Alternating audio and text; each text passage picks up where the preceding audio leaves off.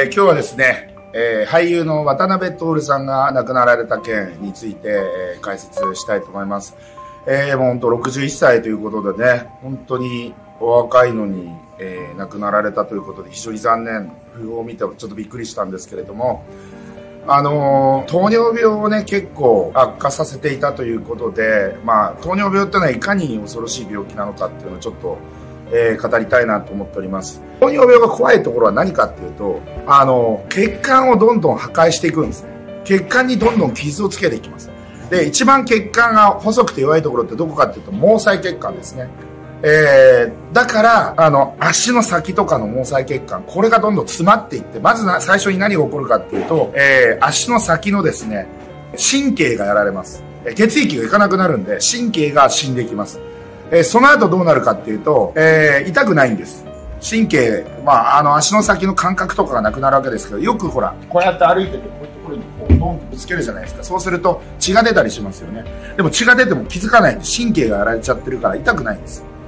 で、大体みんな血ボトボト流してる。お父さんな、なんか血出てるわよ、みたいなこと言われて、初めて気づくんですね。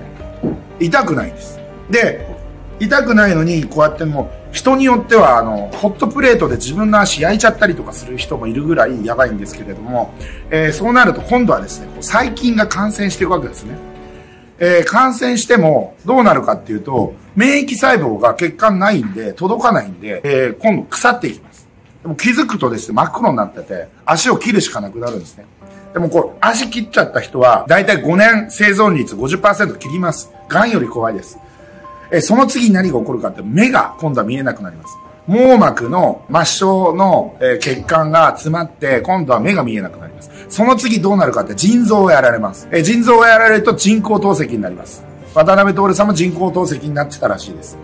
えー、そうすると、もう全身の血管とかがもうボロボロになって、さっきも言ったように免疫細胞が末梢の血管に行かなくなるので、感染症にかかった場合、えー、免疫がもうほとんど効かなくなるんですね。